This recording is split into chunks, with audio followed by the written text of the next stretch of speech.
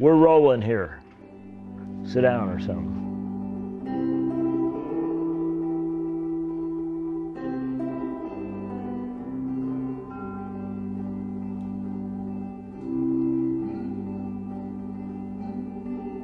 The grasslands are a tremendously fertile place. But without, without the buffalo, um, it's a different place. We're putting those animals back on the grasslands. And we were selling the meat to make ends meet, but there was no market for buffalo hides.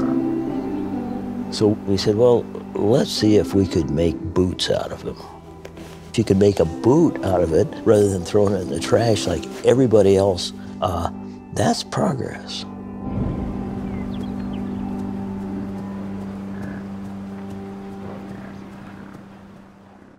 We're off to a great start. Got good vibes about this. Okay, so yeah, I'm Colton Jones. My wife's name is Jillian. We have two boys, Barrett and Lincoln, three dogs, Bruce, Malcolm, and Gretchen. I think we've got three cats, Ralph, Kevin, and Bandit, and an array of chickens and cows. And about a thousand buffalo, yeah. We won't go through all their names, you'll run out of film. My family and I live on the Cheyenne River Buffalo Ranch, and we raise 100% grass-fed, field-harvested buffalo.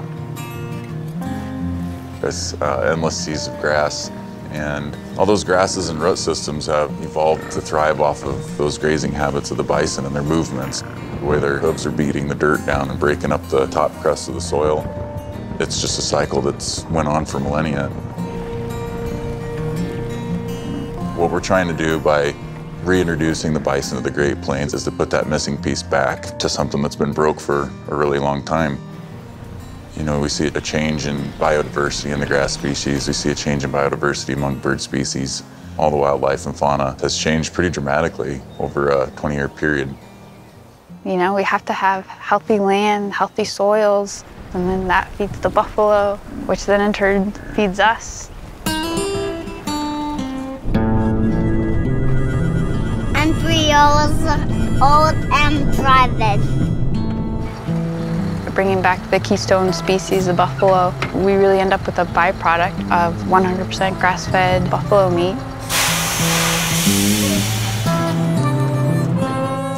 Doing good. This will probably be our last run before calving starts. We try to treat them as close to nature's intentions as possible, give them respect in life and dignity in death. We've also teamed up with Patagonia. We supply their bison jerky, but not wasting any part of the animal is a big part of Wild Ideas philosophy. We started kicking around the idea of a boot for Patagonia. There was finally a batch that we had put together. We're like, man, we hope this is the batch. We hope this is the batch that comes back from Portugal in the form of a boot.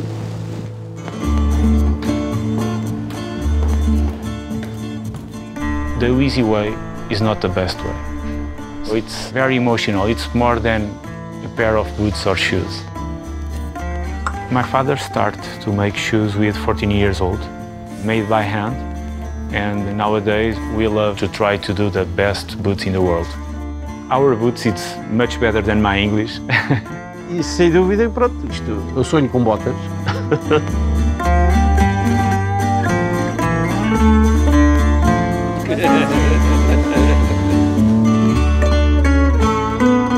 Gosto imenso deste produto porque vê-se na naturalidade da pele que aquilo não tem químicos, não tem plásticos, pronto, aquilo é, é muito natural.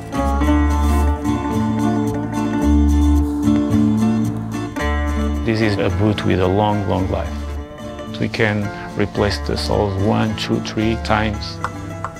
It's always a challenge to improve and to find the best solution. We like this, we like the big challenge. So we find the best materials, all recycled, because we can produce a very nice boot with a very good quality and respect the environment. We think that's the future. That's the big opportunity to start a new age.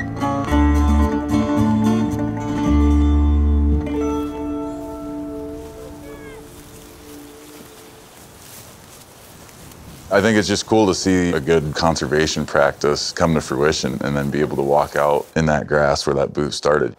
Can you guys see the buffalo? I see them through one. Other than the sun, that's where that boot started, is right there at that grass level. Four of them. Yeah. We lost a few. We lost 96. You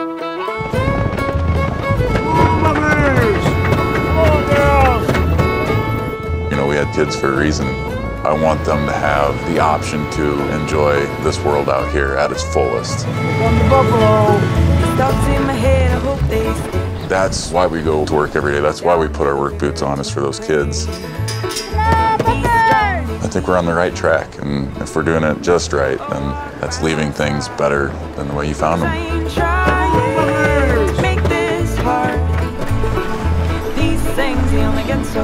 The loss of grasslands is a huge tragedy, but what we're doing here is going to help. It's going to help.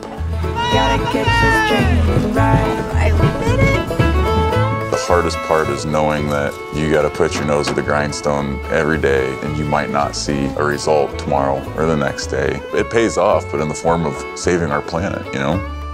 It kind of cranks me up. Symbolically, metaphorically, boots are the foundation. I mean, that's how we get around here. Just to put those boots back in contact with this grass out here for me, pretty powerful. Hang on a second, I'm tearing up here, Christ almighty. I'm good, I got sleeves. That's what I wear sleeves for.